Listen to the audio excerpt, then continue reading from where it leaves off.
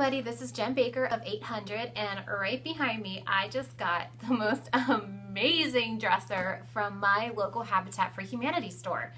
It's right down the road about 10 minutes and I just popped in the other day just to see what they had and I could not believe my eyes. I couldn't believe that this was there, first of all, and I couldn't believe that nobody else had scooped it up yet. So you better believe that I did because this guy is gorgeous and it's so old and I can't wait to work on it. So I haven't started working on it yet, and I because I got an idea for video. I thought, you know what? Let me shoot a video to show folks the process that I go through when I start at the very, very beginning when I'm going to do a furniture makeover. We literally just hauled this upstairs yesterday. I work out of my apartment. I don't have a studio. I don't have a garage. Like I do everything in my apartment. Um, so minus the sanding, I do that at my parents' house. but regardless, you know, I haven't done a thing to this, and I wanted to show you not only the things that I look for when I pick out a piece of furniture, um, what drew me to this piece in particular, and then what I do when I first start um, its furniture makeover. So let's get started. Okay, so we're going to start from the top and work our way down. So the first thing that drew me to this piece was its texture. When you have an old oil-based finish, um, eventually it wears out. So this piece has what I call gatoring um, or alligatoring. It's a texture that develops on a piece as the original finish um, fades and crackles and kind of separates from itself because it's getting old. So you can see all over the surface, there's this like gatoring here. And the reason why I like this, um, and actually Natasha Shea of Love Street Vintage kind of tipped me into this on furniture pieces. I never heard of it before. But the reason why this is so great on your pieces is because when you paint this, that's texture and it's texture that shows through. And when you go to distress or when you go to get some wax in there, um, it, it just shows up so beautifully and you, it makes it look like you did a whole lot more work than what you really did. The other thing that drew my attention was this detail that goes all the way down to the bottom. I just think that this is so pretty. And I love the rounded top. And then here are the drawers. Um, this piece reminds me of one that Marian Parsons worked on when she featured her European color marzipan. Every drawer has a keyhole. The gatoring continues. And it's got this really great like rounded oval trim work that goes around.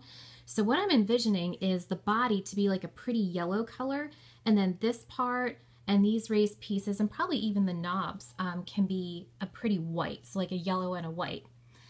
Um, the next thing that I did, okay, so if I kind of zoom out a little bit so you can see, I've got one, two knobs missing. So the next thing I look for is, are the knobs in the drawers. So usually if you buy furniture and if the knobs are missing, sometimes they'll put the missing knobs in the drawer. Um, and this one has them. And you can see they're just like wooden dowels. So like here's a dowel and it has um, like a thread to it. So this, you know, screws on. So all I have to do is just put some wood glue on there and just reattach that one and this one. So that's a relatively easy fix. Um, I'm not too worried about it.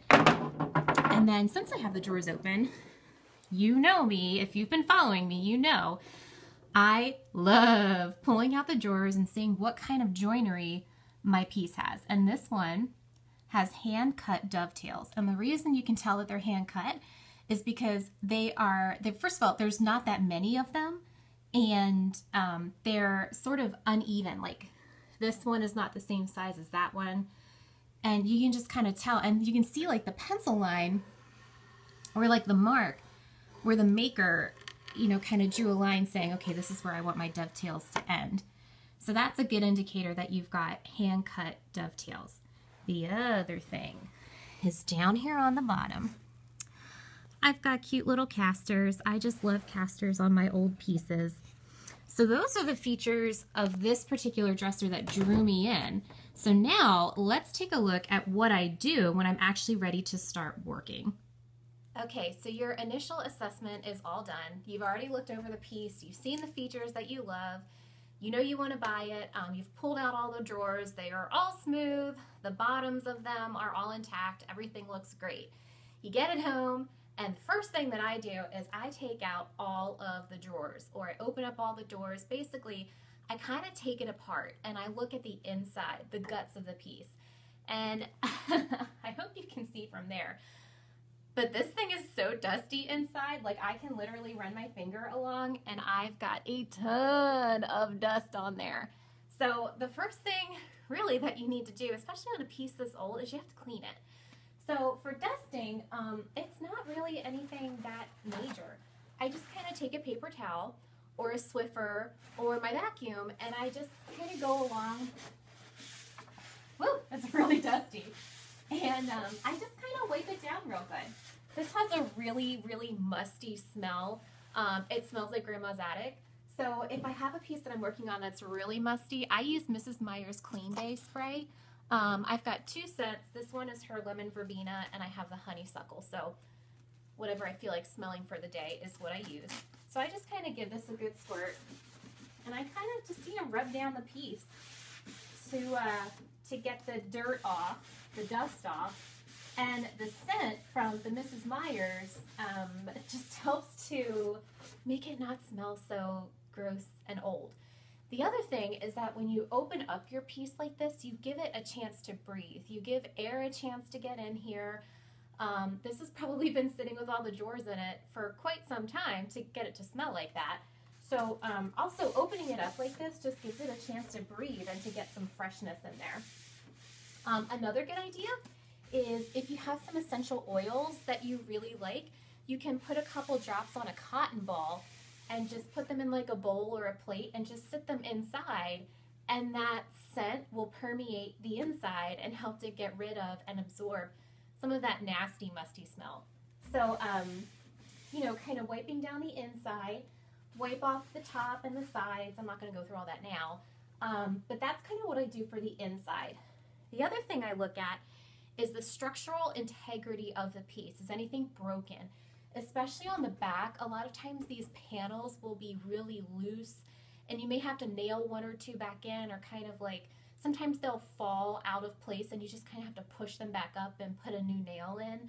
Um, so kind of give it a wobble, give it a shake, see if there's anything loose. Um, that's also one of my preliminary assessments when I'm buying the piece. If it looks like it requires way too much structural work than I can actually do, I won't buy it because it'll just turn into a money pit.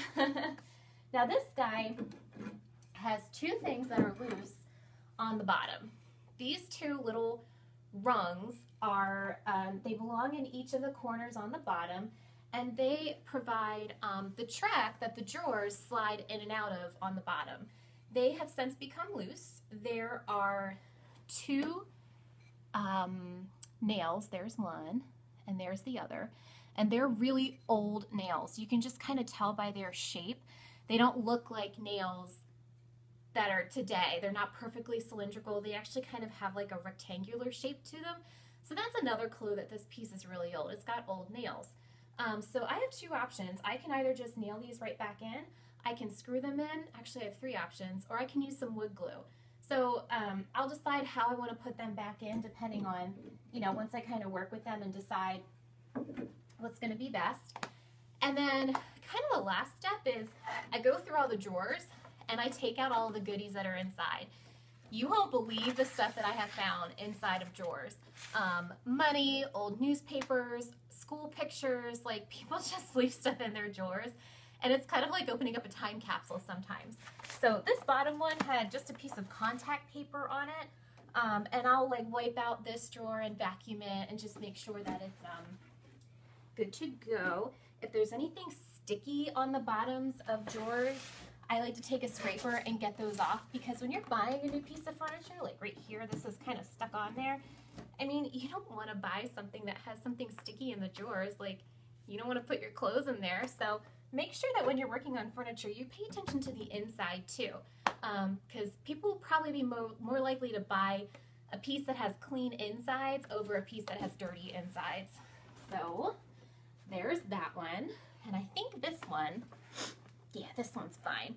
But so in this one, I found a piece of plastic. I found the two knobs, a lovely little button, and a piece of contact paper and something sticky that I don't really know where it belongs. so now that everything, um, or once everything is all cleaned out, then I will start painting and um, executing, you know, the actual furniture makeover. But just again, when you're working on really old pieces, a good cleaning, a good scrubbing, some minor repair work, um, it really goes a long way and sets your furniture apart from everyone else.